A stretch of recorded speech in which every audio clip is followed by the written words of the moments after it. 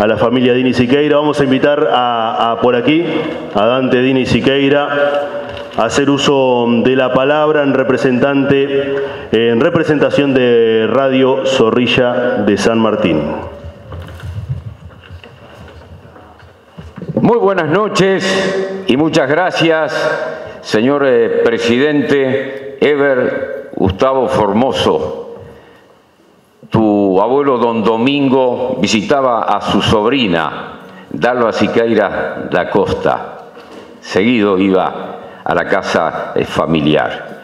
Hemos llegado hasta aquí con un saludo a las autoridades, el señor jefe de policía César Turn, Alfredo de Matos, diputado por el Partido Nacional, el señor alcalde de San Gregorio de Polanco, un hito en lo que es el turismo, ese emprendimiento del departamento de Tacuarembó. Y tengo que decir, agradeciendo a todas las personas que han hablado por las diferentes bancadas, hablar de Ismael Salinas, porque la edil proponente, que es Alicia Chapara, hija de Benito, es sobrina de Esteban Chapara. Ismael Salinas, una gran persona, fue primero locutor operador de Radio Zorrilla de San Martín y después cobrador. Aquí va implícito nuestro agradecimiento a los comercios, fundamentalmente de Tacuarembó y de todo el país, que confían en las ondas inalámbricas de Radio Zorrilla de San Martín. Y a Benito, el papá de Alicia Chapara, don Ismael Salinas lo traía desde su escuela de los cuadrados hasta Tacuarembó en el cuadro de la bicicleta. Esto me lo contó eh, Salinas y me lo corroboraba la mamá de Alicia Chapara.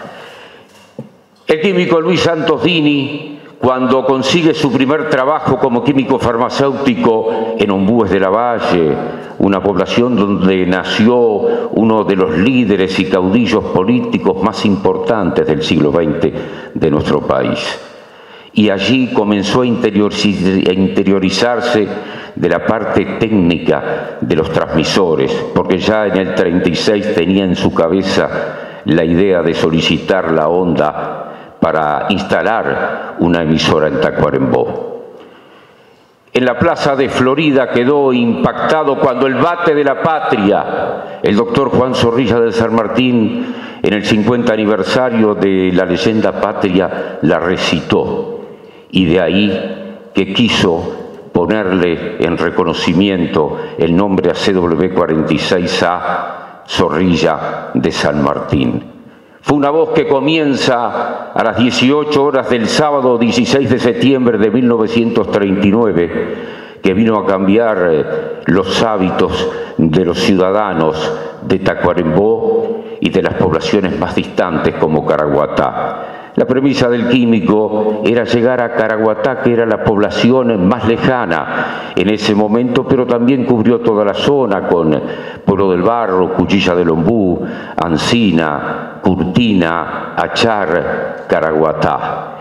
Una voz que renovaba, una voz transformadora, una voz cargada de esperanza que iba llevando precisamente lo que es la espontaneidad y la imaginación propia de la radiotelefonía, haciendo agitar las banderas de la esperanza, haciéndolas tremorar en diferentes sectores.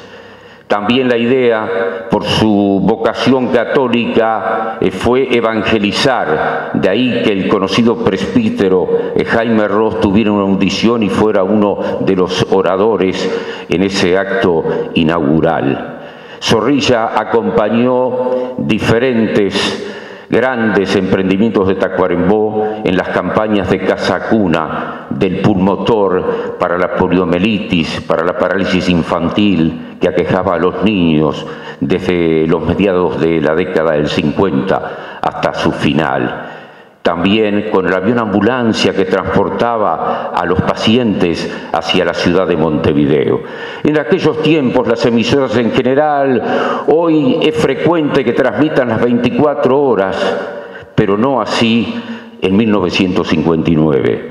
En abril y sobre todo en los días del 17, 18 y parte del 19, CX140 transmitió más de 50 horas ininterrumpidamente, llevando información, comunicación y claridad a la azotada población de los isabelinos. Voy a tomar solamente tres palabras de Washington Bocha en Benavides. Tres palabras. Naufragan los jardines. Creo que eso es categórico para demostrar lo que significaba la desolación y la angustia debido a la inundación.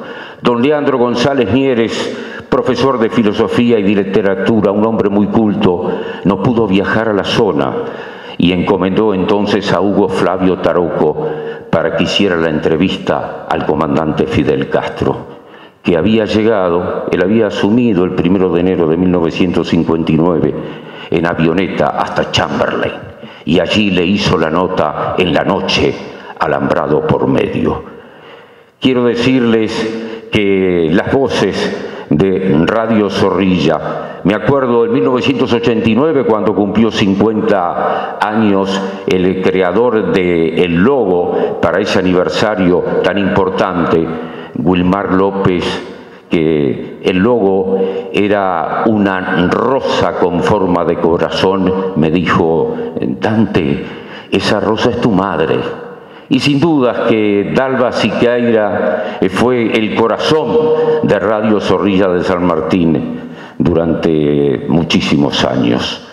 Esta emisora, eh, con eh, sus voces de quienes han partido, voy a cometer lamentablemente olvidos y omisiones, pero será la voz del decano Héctor Romanelli Cano, de Vicente Dumas Sotolán, incomparable con esa voz metálica, de Víctor Esteban Bátimo, de Coroliano Hornos, de mi maestro Humberto Tano Grassi, de don Leandro González Mieres, de Saúl Correa Pereira, el relator, más acá en el tiempo, el hombre número uno, ya que estamos en un departamento de patria gaucha y de lo que tiene que ver eh, con la población rural, Miguel Ángel Ortiz fue el que más y mejor interpretó el sentimiento y tuvo ese feeling con la gente de la campaña. William Miguel Hertz, mi amigo número uno, Sebar Zafak Calves, Víctor Leites, Pablo Ponce,